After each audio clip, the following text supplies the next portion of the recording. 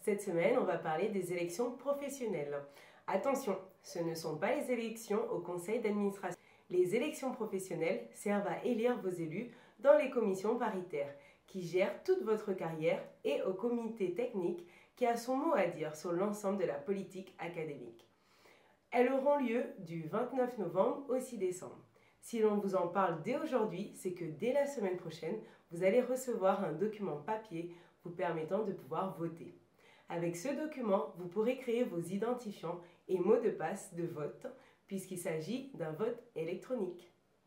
Vous aurez aussi besoin d'accéder à votre boîte mail professionnelle, celle qui se termine par académie, ac, pardon, guadeloupe.fr.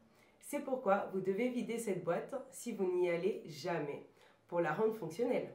Il est même possible de transférer tous les messages de cette boîte vers votre boîte habituelle. Voter aux élections professionnelles, c'est primordial. Les commissions paritaires empêchent les petits arrangements, le clientélisme, les injustices. Le SNES-FSU et la FSU sont majoritaires en France et dans l'académie.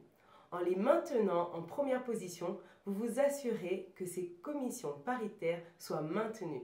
Ce sera un message très fort au ministère. Si vous avez la moindre question, contactez-nous par mail ou tous les matins par téléphone. Nous vous aiderons. À bientôt!